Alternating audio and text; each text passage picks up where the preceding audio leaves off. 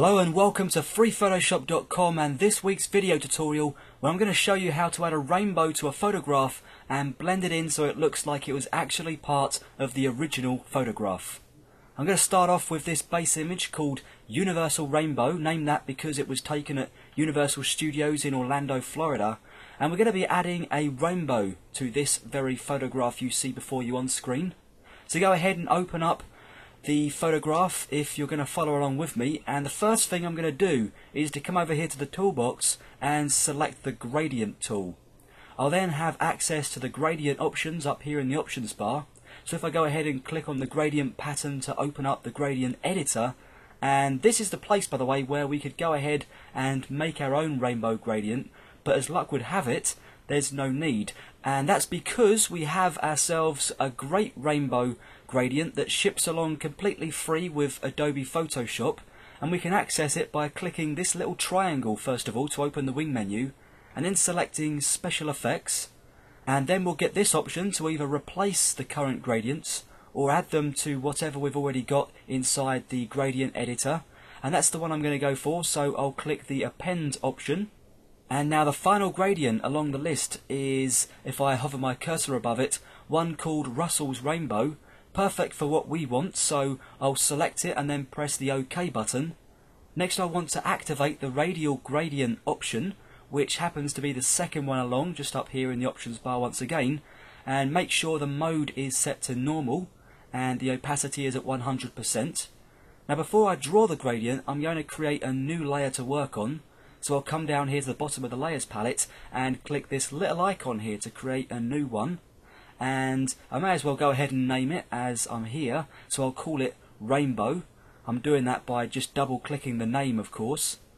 And now I'll come across to the image itself and I'm going to position the cursor at the bottom right corner of the image.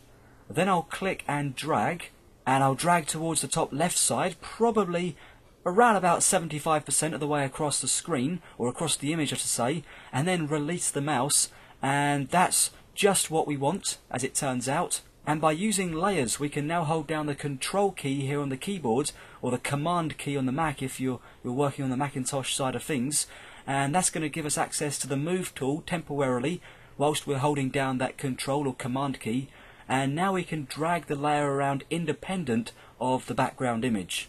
Now at the moment the rainbow graphic is at the wrong angle. So with the rainbow layer selected over here in the layers palette, I'll come up here to the edit menu and I'll select the transform option and then I'll go ahead and select the rotate option. Now if I just go ahead and hold the cursor outside the transformation box, click and drag, I'll rotate the layer in the direction of the drag. Then I can drag inside the transformation box to reposition the layer and then continue rotating until we have things as we want them or as near to as we possibly can get them. I'll just position that one more time and once again we have things looking the way we want them. So I'll go ahead and hit the enter key on the keyboard or the green tick mark in the options bar to confirm the changes. Okay, we now have things in position.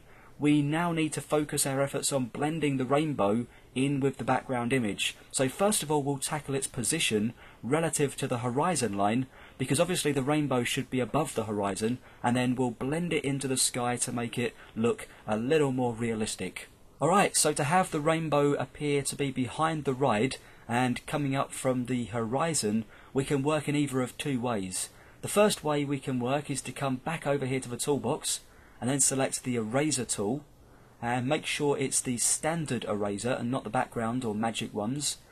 Then we can set the brush size by using the bracket keys on the keyboard. So left bracket makes the eraser smaller and right bracket makes the eraser larger. Now I'm not going to use this method because although it's the simplest way, it's also the way that affords us the least amount of flexibility in the long run. So for this example I'll stick with a fairly large brush I'm also going to make sure the brush is as soft as possible by holding down the shift key on the keyboard and hitting the left bracket key four times in a row. Now I can go ahead and just start to erase away some of this layer and of course to get things looking right I'd have to zoom in and work at a greater detail level, making sure, of course, I erase all aspects of the rainbow that fall on something in the foreground. Now that's one way to work, but there is, as I say, a better way to work, and that's to employ a mask to effectively mask away the portions of this layer that we don't want to see. Now I'm not going to go into too much detail here on masking because it's a huge subject, but I have got more details if you want to check them out in my series on the levels command. To take a look at video tutorial number 11 entitled Non-Destructive Editing, the Adjustment Layer, and I'll also provide a link to it from this page provided you're viewing the tutorial on the 3photoshop.com website. For what we're doing here though, I'm going to hit Ctrl Z a few times to undo those eraser brushes, and then I'm going to switch from the Layers palette to the Channels palette where I have two alpha channels that I created ready for this tutorial, and to load them up as a selection outline, which is what alpha channels are primarily there for us to be able to do, I'll control or command click the actual alpha channel I want to load up, which in this instance will be the sky channel. And once I've done that, I'll switch back to the layers palette and then to load the active selection outline as a mask, I'll make sure the rainbow layer is active and then I'll just click this little mask icon at the bottom of the layers palette and check that out.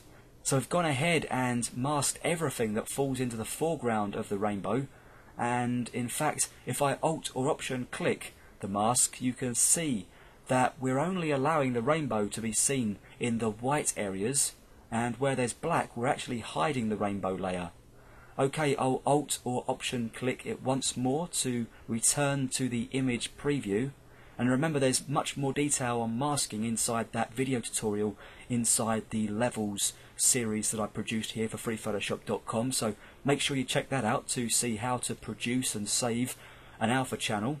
Now one of the advantages of masking is that we can now move the rainbow layer about independent of the masked area. But there's one additional step we need to make before actually being able to successfully do that because as you can see if we try to move it around now we'll move everything on that layer including the mask. So I'll hit Control or Command Z to put that back. To move the layer independent of the mask, we need to come in between the layer and the mask in the Layers palette and click this little link icon to remove the link between the layer and the mask. Now we need to click the layer to ensure we have it selected and not the mask.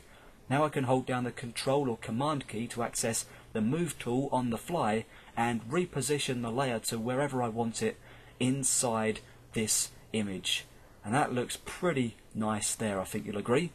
Now finally we want to blend the rainbow into the background, so once again we can make sure we have the rainbow layer active, and then change the blending mode of the layer from normal to screen. And that's going to lighten the effect. Finally, I'm going to change the opacity of the layer to something around the 50% mark, and we're done. I'd say that looks pretty good. As always, feel free to play around with the effects to see if you can come up with something better. Maybe you might try a different size gradient, another blend mode, or even a different angle for the rainbow itself. The more you play, the better you'll get at creating rainbows and generally creating effects inside Adobe Photoshop. Well, thanks as always for joining me here at 3photoshop.com. Thanks for watching and see you next time.